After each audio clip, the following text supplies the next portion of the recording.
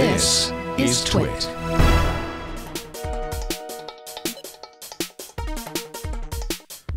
Hi, this is Cheebert, Brian Chee, and this is a TWiET afternoon special. Well, you know, we've had problems with voice over IP, and a lot of our viewers said they'd like more detail. Well, that's what the after school specials are all about. In segment 2B, we are solving voice over IP and unified communications because they're almost the same thing now, but we're looking at echo problems. Now, we know what echoes sound like, and I'm not, you know, it's when you start saying something and then it comes back at you. So we all know what what it sounds like. But Tim Titus, the CTO Path Solutions, and I are talking, and you know, let's go dig into what causes it and maybe some of the history so we can understand the modern causes. So Tim, why don't we dive in? You know, what sure. co- where did this echo problem come from and why is it still with us in this digital age? So really what it comes from is the history of our phone system, even though it's it's modern with VoIP and UC, is it all has roots back into the two-wire uh, a POTS phone system, plain old phone system. And there is still a lot of connectivity into that old phone system. There's a lot of uh, capability that's built into phones, VoIP phones, and gateways to mimic this two wire phone system. One of the things that they have mimicked is what's called side tone. So, what side tone is, is that when you're talking into a VoIP handset, you hear yourself talk. And what the purpose of side tone is, is it allows you to self regulate your volume. That way, you can talk really quietly and you can hear yourself talk really quietly and know this is how you're going to sound to the person on the far end. If you shout, you know that you're going to hear yourself shouting. Uh, as, as an aside, the lack of side tone is what makes it so that people don't know how they sound on their cell phone. If you're on a cell phone call and the other person grows very faint, you start shouting into your cell phone because you can't hear them as well. The silliness is they can hear you just fine. You're having problems hearing them. So you're shouting for no reason.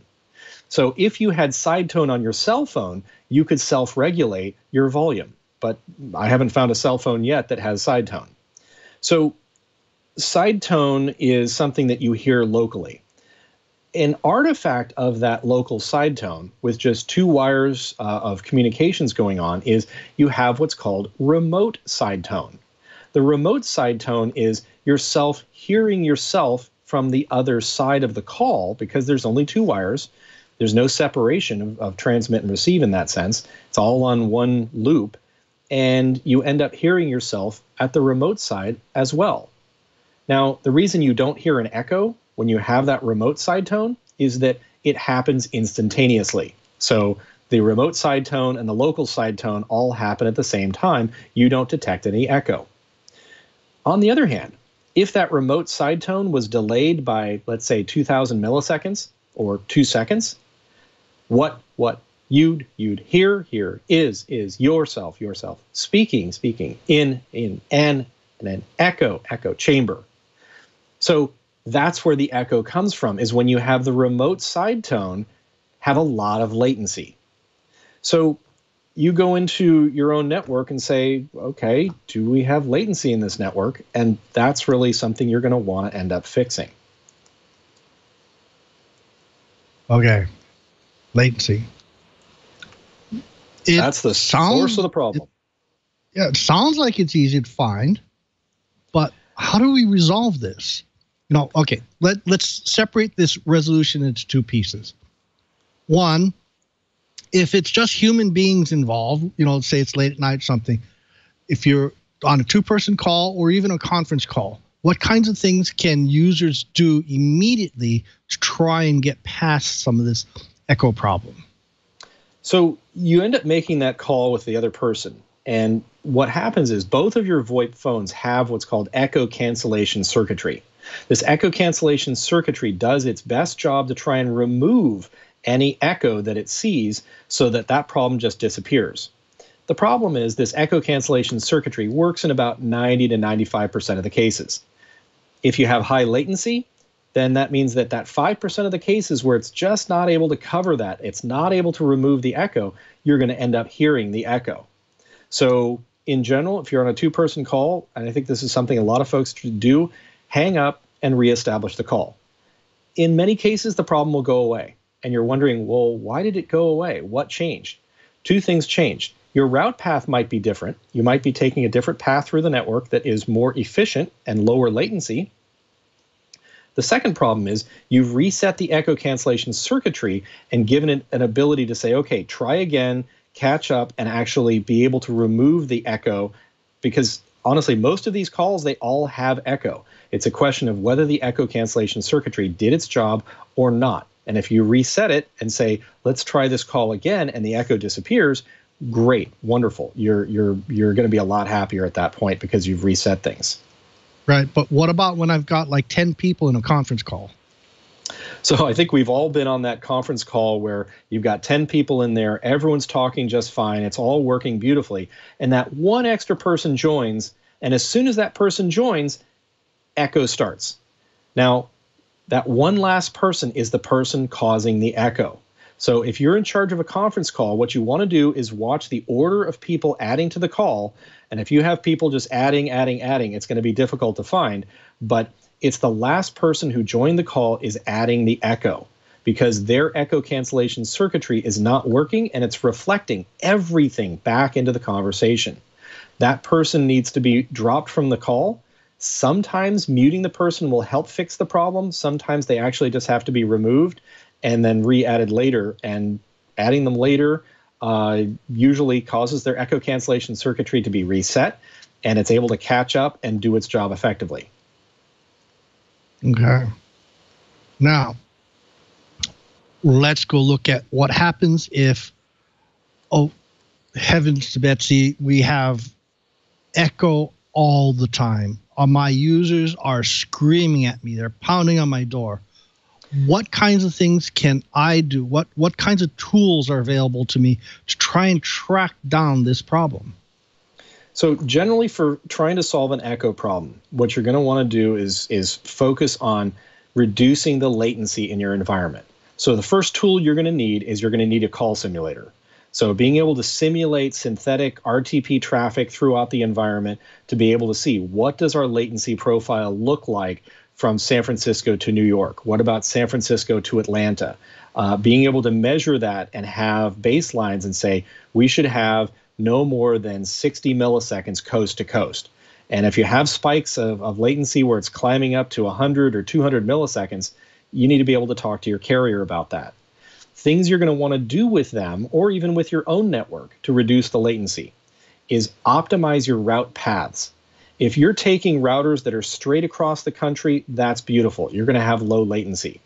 But if your route paths are going around the southern tip of Antarctica, your packets are going bouncing off of a satellite that's halfway to, to the moon, you're going to end up having some really high latency. So optimizing the route paths to say, how do these packets get from place A to place B and reduce the latency is really what you're going to want to do. Secondarily, you want to make sure that your switches and routers aren't adding latency.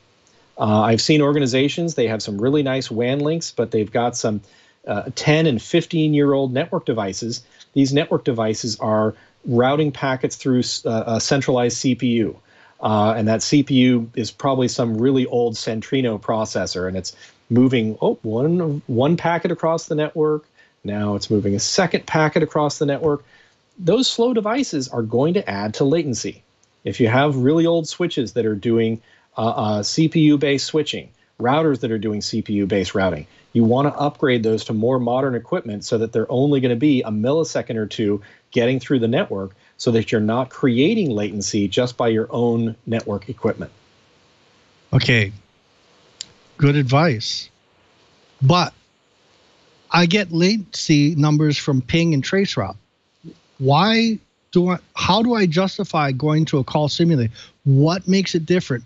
Am I getting the same kind of information from ping and traceroute? You're getting, I'm going to say, mildly similar. So you can use a, a ping to be able to determine what the latency is to a remote location. The problem is, is that that latency is going to be single packet latency. And what you want to be able to do is emulate a phone call to the remote location, which is a stream of packets. And testing a stream and seeing what is happening to that stream is different than what you have when you're doing single packet testing. Um, is it incredibly different? Probably not. Uh, is it different enough that it makes a difference for voice? I would say yes, because single packet latencies might end up showing some really nice numbers. But for a stream, that stream might be slightly different and different enough that it makes a difference for voice. Well, we've talked about all kinds of things. You know, what can we do to solve echo problems? We've talked about a few of the tools. Let's summarize, Tim. What kinds of things, what kind of best practices should we be doing before we go to our boss asking for a copy of TotalView? well, it's it's know your network. Uh, again, I think we talked in the previous one about having a good network diagram, a good map, an understanding of your network, an understanding of your network equipment. What are the models? What are the manufacturers? How old is this equipment? Uh, I think that's the the the good first best practice for understanding your network, uh, and being able to measure what is your latency to that far end of the network. Uh, if you don't have the ability to get uh, a troubleshooting solution like our product TotalView, uh, then using the occasional ping or set up a continuous ping. Honestly, a continuous ping to a remote location doesn't take much bandwidth.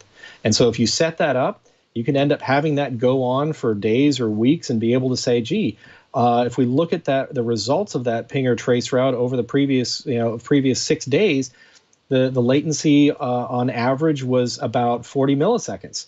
But if you look at it over the past two hours, that latency has been up in the 200 milliseconds. You now know that something has changed. So there are the ability to use free tools to be able to help solve these problems. And latency is one that I think ping would be a, a pretty good replication of it. Just recognize that it's not necessarily exacting enough to really get VoIP. What I mean is, if you have ping that shows ping seems to be good, it might be marginal, but ping's not going to show it. And it's those marginal cases where you have to be careful. Well, we've been talking to Tim Titus of CTO Path Solutions, and we've been talking about solving echo problems with voice over IP. And of course, unified communications is voice over IP. So we kind of put VoIP slash UC.